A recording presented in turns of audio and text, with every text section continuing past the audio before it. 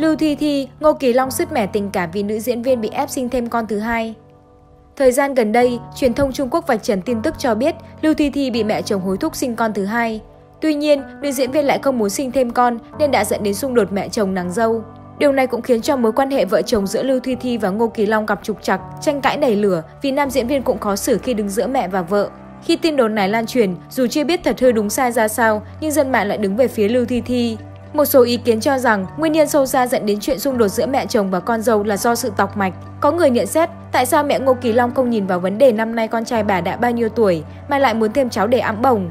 Vấn đề sinh con là chuyện riêng của vợ chồng, bố mẹ hai bên không nên can thiệp vào.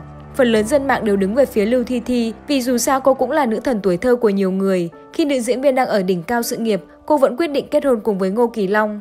Chuyện kết hôn, lập gia đình đương nhiên ảnh hưởng rất lớn đến người nghệ sĩ. Sự lựa chọn này cho thấy Lưu Thi Thi đã nghiêng về gia đình hơn là sự nghiệp. Sau một thời gian chăm lo cho gia đình nhỏ, cũng đã sinh con cho Ngô Kỳ Long, giờ đây Lưu Thi Thi tập trung phát triển sự nghiệp cũng chẳng có gì đáng trách. Fan hâm mộ hy vọng Lưu Thi Thi chuyên tâm vào diễn xuất và các vai diễn nhiều hơn để tạo nên sự nổi bật, đột phá. Có được thành tích, Lưu Thi Thi mới có thể đi được đường dài, bắt kịp khoảng cách với những nàng tiểu hoa thế hệ sau 85 khác. Ở tuổi 34, Lưu Thi Thi cho biết cô tìm kiếm sự cân bằng giữa công việc và gia đình thay vì đam mê vươn tới nước thang cao hơn trong sự nghiệp.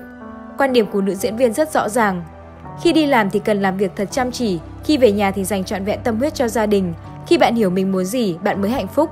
Đừng quan tâm quá nhiều đến được mất, như vậy tự nhiên cuộc sống sẽ cân bằng. Con trai bộ bộ của vợ chồng cặp sao hiện 2 tuổi, dù công việc bận rộn, Lưu Thi Thi, Ngô Kỳ Long vẫn cố gắng dành trọn thời gian chăm sóc trẻ, giúp con có một tuổi thơ thật hạnh phúc. Cặp sao phân chia thời gian rất hợp lý nhằm đảm bảo lúc nào em bé cũng có bố hoặc mẹ ở bên.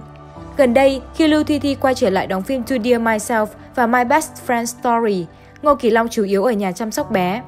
Trong khi Lưu Thi Thi chăm sóc con rất nghiêm khắc, Ngô Kỳ Long được đánh giá là một ông bố chiều con hết mực. Hôm 27 tháng 4, paparazzi ghi lại cảnh gia đình ba người đi chơi. Từ đầu tới cuối buổi, Ngô Kỳ Long bế khư khư cậu bé trên tay, bất chấp cậu bé hiếu động không ngừng ngọ nguậy, nghịch ngợm trên tay bố. Cảnh Lưu Thi Thi lau mặt, lau tay cho con, trong khi ông bố giữ cậu bé cũng khiến cho không ít người thích thú. Khi gia đình ba người ra về, Kỳ Long vừa bế con vừa xoa lưng cho cậu bé, cử chỉ tràn đầy yêu thương. Ngô Kỳ Long và Lưu Thi Thi trải qua 4 năm hẹn hò, tới 2015 hai người nên duyên vợ chồng. Năm 2019, con trai họ chào đời và được bố mẹ đặt tên Bộ Bộ.